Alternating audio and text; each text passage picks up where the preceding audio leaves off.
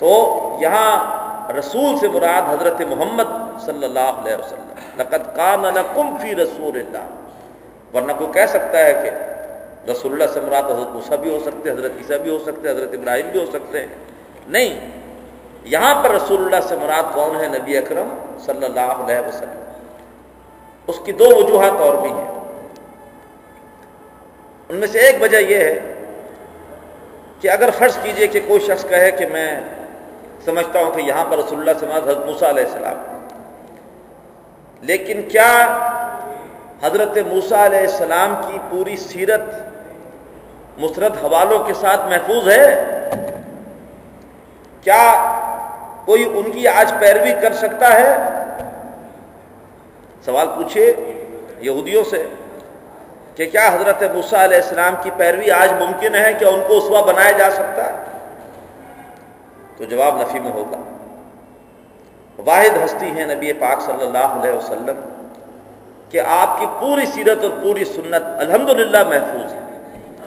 अल्लाह ताला सीरत निगारों को मुहदसिन को अजरता फरमाए। बड़ी मेहनत की और आपकी ज़िंदगी का एक एक गोशा महफूज किया। आज भी जब हम सीरत की किताबें पढ़ते हैं तो हम हज़रत मोहम्मद सल्लल्लाहु अलैहि वसल्लम को चलता फिरता हुआ महसूस करते हैं।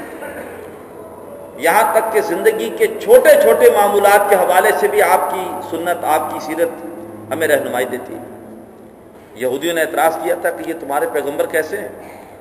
छोटी छोटी बातों के बारे में भी तुम्हें बताते हैं। आपने कहा कि जाकर कहो कि हाँ हमें यह भी बताते हैं कि स्तंजा कैसे किया जाता है। स्तंजा तो इबादत की बुनियाद है। तहारत ना हो तो नमाज़ होती नहीं। तो अल्लाह के रसूल सल्लल्लाहु अलैहि वसल्लम ही वाहिद हस्ती हैं कि जिनका उसवा महफूज है और जिससे रहनुमाई हासिल की जा सकती है, जिसकी पैरवी की जा सकती है। और किसी नबी का उसवा महफूज ही नहीं। तो अगर कोई ये समझे कि यहाँ रसुल्ला से मुराद तो और रसूल है तो फिर आगे मामला जो है मुश्किल हो जाएगा। फिर जैसे आज का मौजू है सीरतुलनबी सल्लल्लाहु अलैहि वसल्लम का जाम तस्वुर। अगर कोई सिपा सालार उसवा बनाना चाहे तो क्या हज़रत ईसा को बना सकता? नहीं बना सकता। जुजवी तौर पर रहनुमाई मिल सकती है वहाँ से। लेकिन जाम नमूना वो नहीं है। उन्होंने कभी कोई जंग की नहीं। अगर कोई शौहर उसवा बनाना चाहे, ईसा अलैहिस्सलाम को क्या बना सकता? नहीं बना सकता, उन्होंने शादी की नहीं। अगर कोई हाकिम उसवा बनाना चाहे मूसा अलैहिस्सलाम को क्या बना सकता? हुकूमत मिली नहीं, हुकूमत की नहीं। इसी तरीके पर आपको नज़र आएगा कि वाहिद नबी पाक सल्लल्लाहु अलैहि वसल्लम है कि जिनकी हर हैसियत के ऐसा एतबार से पैरवी हो सकती है। मुश्किल हालात में तबलीग, दाई हज़रत ईसा भी हैं। नबी अकरम सल्लल्लाहु अलैहि वसल्लम भी हैं। मक्के की गलियाँ हैं और लोगों की तरफ़ से तंज भी है इस्तेजा भी है। ताइफ की गलियों में पत्थर भी मारे जा रहे हैं, एक वो कैफियत भी है। लेकिन उसके बाद आप सल्लल्लाहु अलैहि वसल्लम एक लीडर की हैसियत से, एक कायद की हैसियत से मदीने में नज़र आते हैं। साथ बहुत सारे जानसार आपके मौजूद हैं। उनकी क्यादत करते हुए आप मुहिमात सर कर रहे हैं। हज़रत ईसा के उसमें में आपको ये दूसरी शान नज़र नहीं आएगी, पहली नज़र आ जाएगी। इसी तरीके पर एक वालिद के लिए उसवा नबी अकरम सल्लल्लाहु अलैहि वसल्लम, एक शोहर के लिए उसवा नबी अकरम सल्लल्लाहु अलैहि वसल्लम, गो के आपके वालिद माजिद, आपकी पैदाइश से पहले ही फौत हो गए थे। लेकिन बिल्कुल बेटों की तरह एहतराम किया है अबू तालिब का। बिल्कुल बेटों की तरह एहतराम किया हज़रत अब्बास का। रज़ी अल्लाह तहु लिहाजा बेटे के लिए भी उसवा। इसके साथ साथ मस्जिद में आप देखिए तो मस्जिद के पेश इमाम कौन है? नबी अकरम सल्लल्लाहु अलैहि वसल्लम। मस्जिद के खतीब कौन है? नबी अकरम सल्लल्लाहु अलैहि वसल्लम। मस्जिद में मुदर्रिस तालीम देने वाले कौन हैं? नबी अकरम सल्लल्लाहु अलैहि वसल्लम। मुजक्की, मुरब्बी कौन है? नबी अकरम सल्लल्लाहु अलैहि वसल्लम। आज हमारी मस्जिदों में इमाम और होते हैं, खतीब और होते हैं, मुदर्रिस और होते हैं। अल्लाह के रसूल सब कुछ है। मस्जिद से बाहर निकलिए तो एक ताजिर के लिए उसवा नबी अकरम सल्लल्लाहु अलैहि वसल्लम। एक सिपा सलार के लिए उसवा नबी अकरम सल्लल्लाहु अलैहि वसल्लम। एक काजी के लिए, जज के लिए उसवा नबी अकरम सल्लल्लाहु अलैहि वसल्लम। एक हाकिम के लिए उसवा नबी अकरम सल्लल्लाहु अलैहि वसल्लम। तो यह है अल्लाह के रसूल सल्लल्लाहु अलैहि वसल्लम की सीरत की जामियत। क्या आप सल्लल्लाहु अलैहि वसल्लम हर हैसियत के एतबार से नमूना। और किसी पैगंबर की सीरत ऐसी जामे नहीं है। और किसी पैगंबर की सीरत महफूज नहीं है। लिहाजा लकत खान लकुम फ़ी रसूल उसबतुल हसना। तुम्हारे लिए बेहतरीन नमूना है अल्लाह के रसूल सल्लल्लाहु अलैहि वसल्लम की ज़ात मुबारक में। ये बातें तो मैंने आपकी सीरत के हवाले से इनफरादी एतबार से कहें। इनफरादी एतबार से उस्ताद के लिए, सिपा सलार के लिए, जज के लिए, काजी के लिए, हाकिम के लिए, वालिद के लिए, भाई के लिए, शौहर के लिए आप उसवा इज्तमाही एतबार से भी आपको महसूस होगा कि आपका उसवा इंतहाई जाम है। दुनिया में बहुत से लोग हैं जो मुख्तलिफ़ गोशों के इज्तमाही काम करते हैं। लेकिन आप सल्लल्लाहु अलैहि वसल्लम ने इज्तमाही एतबार से भी एक ऐसा जाम उस वक्त कायम किया कि इंसान हैरान होता आप ज़रा सोचिए कि लोग इज्तमाही एतबार से क्या क्या करते हैं। कुछ लोग हैं जो काम कर रहे होते हैं इसलाही नोयत के। रसूमात की सलाह कर रहे होते हैं, अकायद की सलाह कर रहे होते हैं। अच्छा काम है। मुसले होते हैं, लेकिन वो सारी ज़िंदगी इसलाह करते रहते हैं। एक ही काम में लगे हुए हैं। उसी हवाले से इसलाह हो रही है। रसूमात की हो रही है या अकायद की हो रही है, तस्वुरात की हो रही है। क्या अल्लाह के रसूल सिर्फ़ एक मुसलह थे? आपने भी अकायद की सलाह की है। रसूमात के बोझ गर्दनों से उतारे हैं। बेदात के बोझ तवहमात, वहम उनकी मुसीबतें आपने लोगों से दूर की हैं। यजा अनहुम इसराहम बल अगलाल कानत अलई लेकिन आप सिर्फ़ मुसले तो नहीं थे। आपने उससे आगे बढ़कर और भी बहुत कुछ किया। बहुत से लोग हैं जो इज्तमाही एतबार से तस्किए का काम कर रहे होते हैं, खानकाहें बनाते हैं और लोगों के दिलों की सफ़ाई, लोगों की सोचों की तथहीर उस पर पूरी पूरी जिंदगियाँ लगा देते हैं। आप सल्लल्लाहु अलैहि ने भी तस्किया किया है, साहब कराम का। कहा वो लोग जो छोटी छोटी बातों पर लड़ते थे, कहीं पानी पीने पिलाने पे झगड़ा, कहीं घोड़ा आगे बढ़ाने पे झगड़ा, जो कोमल लुद्दा थे झगड़ालू लोग थे, अल्लाह के रसूल ने ऐसा तस्किया किया, दिल में ऐसी अल्लाह की मोहब्बत और आखरत की फ़िक्र डाली। कि अब कैफियत ये पैदा हो गई, वह यो अला अनफुसिम बलौकाना बिहिम खसासा। वो दूसरों को अपने ऊपर तरजीह देते हैं, खा खुद कितने जरूरतमंद क्यों ना हो। बार बार आपने हैमर कर करके उनके दिल से दुनिया की मोहब्बत को निकाला, अल्लाह की मोहब्बत, आखरत की फ़िक्र को डाला। चलते चलते एकदम रुक गए, आवाज़ ही सब लोग जमा हो गए।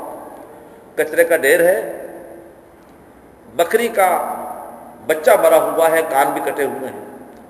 आप पूछते हैं कि कौन मुझसे एक दिन में ये बच्चा खरीदता? तो अर्ज़ की सब साहबा ने कि हम तो इससे वैसे भी नहीं लेंगे, एक धर्म का कौन लेगा? आपने फरमाया कि अल्लाह की निगाह में दुनिया के सारे मालो इसबाब की हकीकत इस बकरी के बच्चे से भी कम। इस तरीके पर आपने तस्किया किया। लेकिन क्या आप सिर्फ़ एक मुजक्की थे, सिर्फ़ एक मुरबी थे? आपको महसूस होगा कि नहीं? आपने इसके अलावा भी बहुत कुछ किया। एक इज्तमाही काम होता है तालीमी और तदरीसी। बड़े बड़े उल्मा हैं, जिनकी सारी ज़िंदगी गुजर जाती है पढ़ाने में। और उनके कई शागिर्द होते हैं, सैकड़ों शागिर्द होते हैं, ज़िंदगी पढ़ाते रहते हैं।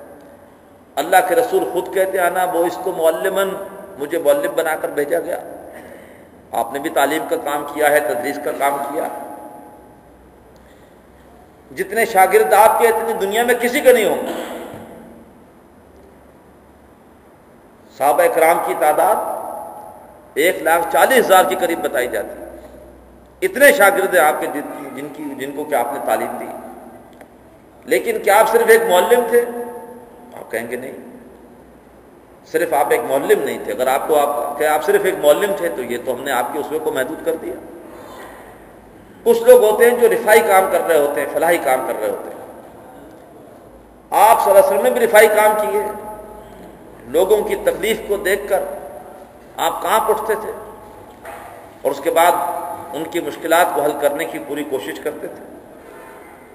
लेकिन क्या आप सिर्फ़ एक समाजी खिदमतकार थे?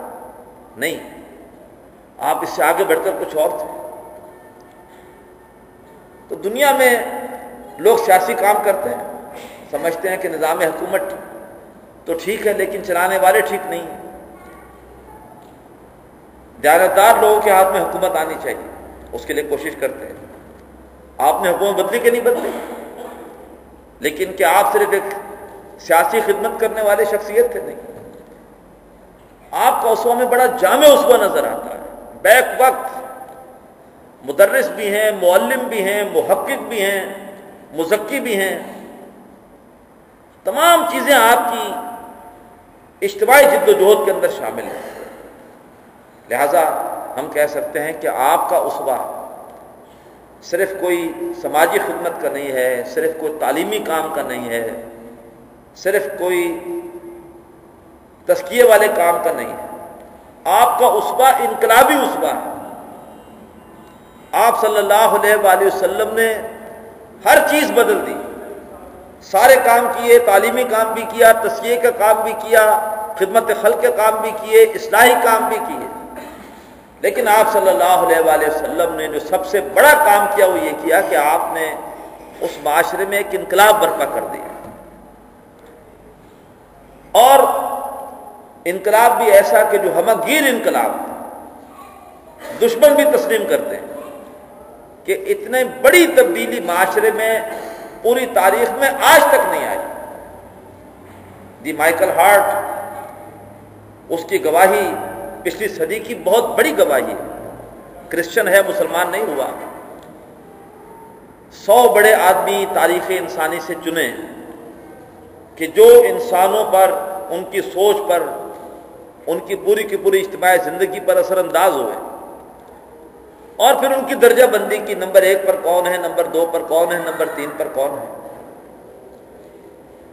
एक दुश्मन है, गैर मुस्लिम है, आपको नबी नहीं मानता। हम तो आपको नबी मानते हैं, हमारे नज़दीक तो आपसे बढ़कर कोई हस्ती हो ही नहीं सकती। बादस खुदा, बुज़ुर्ग तो किस्सा मुख्तसर। एक गैर मुस्लिम ये कह रहा है कि टॉप पर है हज़रत मोहम्मद सल्लल्लाहु अलैहि वसल्लम। और वो कहता है कि मुझे इसकी वजह बयान करनी पड़ेगी, मेरे लोग सवाल करेंगे कि तुमने क्यों मुसलमानों के प्रॉफिट को ये मुकाम दिया? He is the only person in human history who is supremely successful on both religious and secular levels वायद हस्ती हैं कि जो रूहानी एतबार से भी उरूज पर है और जो सियासी एतबार से मिलताई बरंदी पर है। इतनी बड़ी तब्दीली बर्पा कर दी। सियासत बदल दी, मीशत बदल दी माशरे बदल दी, सियासत के अंदाज बदल दिए। पहले सियासत क्या थी? उस जमाने में बादशाह होते थे। उनके शानदार महल और शानदार लिबास होते थे। बहुत कम अवाम में आते थे। अवाम उनकी शक्ल देखने के लिए तरसते थे। कभी कभी बाहर निकलते थे। निकलते थे तो क्या खास शान होती थी?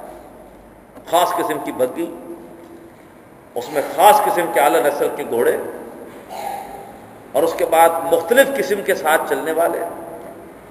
बड़ी चमकती हुई नई नई तलवारों का एक दस्ता और ख़ास तीरों अंदाजों का एक दस्ता, नेज़ा बरदारों का एक दस्ता आगे पीछे चल रहा फिर मोर जल जलने वाले साथ चल रहे हैं। तरह तरह के मशरूबात साथ लिए हुए हैं तरह तरह के मेवे साथ लिए हुए हैं। अजीब बादशाह की शान है, अजीब उसका ताज है, अजीब उसका लिबास है। अल्लाह के रसूल सल्लल्लाहु अलैहि वसल्लम ने सियासत का ये अंदाज बदल दिया। बादशाह ख़त्म कर दी। ईरान के लोग आकर पूछते हैं, तुम्हारा बादशाह कहाँ है? दौरे फारूकी में साहबा कहते हैं, हमारा कोई बादशाह नहीं है। हमारा अमीर है। कहाँ है? बैतुल माल के कुछ ऊँट गायब हो गए थे। उनको ढूँढने के लिए हमारे अमीर साहब निकले हुए उनके हाथ में कोड़ा है, जाके देख लो कोई नज़र आ जाएँगे। जाकर देखा तो थक गए ढूंढते ढूंढते तो अपने कोड़े को तकिया बनाकर और आराम फरमा रहे हैं। ज़मीन पर उम्र फारूक के जिनके नाम से ईरान का बादशाह कांपता था, बड़े हैरान हुए। और क्या तबसरा किया है ईरान के उन नुमाइंदों ने? उमर तुम इंसाफ करते हो, तुम्हें किसी का डर नहीं है।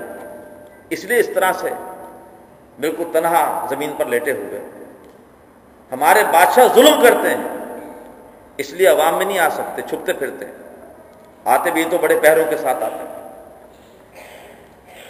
तो ऐसा सरबराह मुमलिकत है, ना उसका कोई ख़ास घर है, आम सा घर है, उसका लिबास भी बड़ा सादा सा है। उसकी गज़ा सबसे ज़्यादा सादा है। सरकारी लंगर है, लोग खा रहे हैं, खलीफा नहीं खा रहे। हैं एक साहबी समझते पत्नी को ख़ास चीज़ खाते होंगे, कि जो सबके साथ नहीं खाते। तो कहते हैं, आज मैं आपके साथ खाना खाऊँगा। उम्र फारूक कहते हैं कि नहीं, सबके साथ खा लो। नहीं नहीं, मैं आपके साथ खाऊँगा। कहा, ठीक है, फिर आ जाओ। जब गए हैं तो क्या देखते हैं कि सूखे टुकड़े हैं, पानी में भिगो के नरम की और वो खा रहे हैं।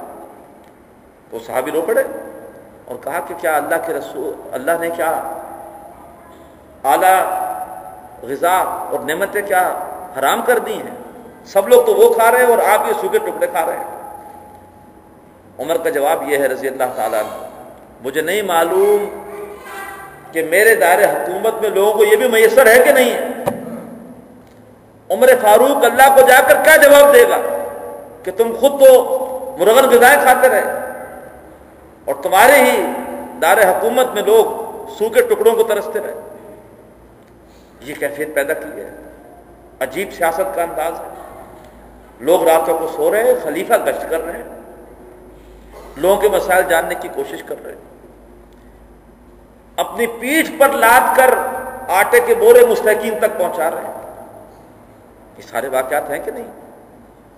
गांधी जी ने ऐसे तो नहीं कहा था सन छत्तीस में, अपने वजीरों से कि मैं तुम्हारे सामने मिसाल रखता हूँ हुकूमत के लिए उम्र फारूक की और सदीक अबू बकर सिद्दीक की रज़ी अल्लाह लेकिन उनको हुकूमत के अंदाज किसने सिखाए थे? हज़रत मोहम्मद ने, सल्लल्लाहु अलैहि वसल्लम। मीशत अजीब कैफियत है कि जक़ात देने वाले ढूंढ रहे हैं, किसको जक़ात दें?